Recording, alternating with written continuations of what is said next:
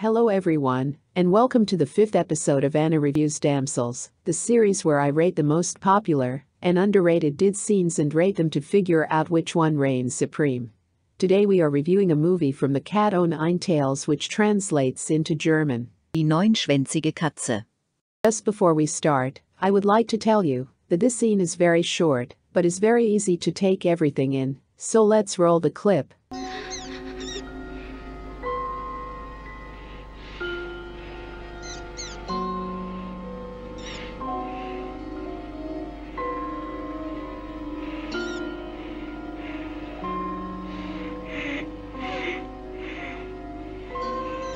Is that muffling I hear?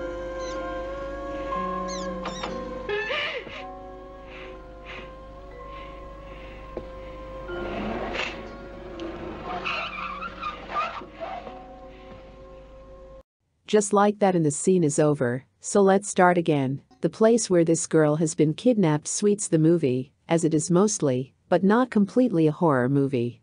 I like how the girl has one shoe on showing one of her socks fully, because it looks like she is homeless, and I just enjoy girls kidnapped in socks.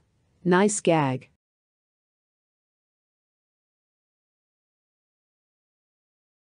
Now that we have gone over the scene twice, let's jump into the ratings.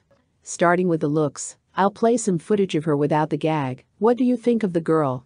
She looks fairly young and pretty, one of the best girls I've seen tied up, it's a 4. Next is the muffle and gag, even though, from my guess, there were no muffles in the movie, but the gag looks great. I like the way the gag covers her entire mouth, even though she isn't biting on it. But because there were no muffles, the score has been changed to a 3. Next is the clothing, the clothes are stunning, well, in some scenes, the last scene that you see with the girl, before she is tied up, she was wearing this lovely velvet red coat, but the coat was taken off when she was kidnapped and made her clothes look more casual with that white dress, at least her socks were fully visible when she was tied, but her socks could have been higher up her legs as you can see hers is up to her knees in the first scene of the movie. It's tricky to rate, because there are equal ups and downs, so I'm giving the score a 4 1 half. The first half score an ARD.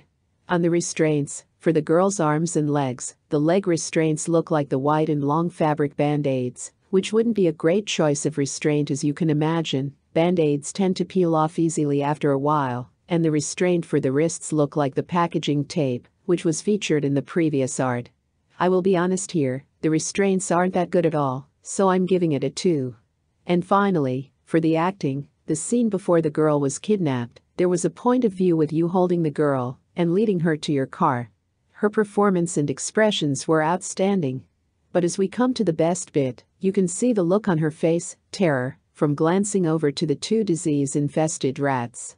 As the door opens, the girl gasps in shock through her cleave gag. A man with his shadow, holding a sword, is ready to take or grab the girl, as a strange noise has been heard, and a car screeches, the man scurries out, oh, sorry, where was I? Oh, let's put it short, that the girl's acting is amazing. It's a 5. Leaving the overall score of the movie with an okay 18 1 half out of 25. Thank you for watching, and I will see you next time on ARD.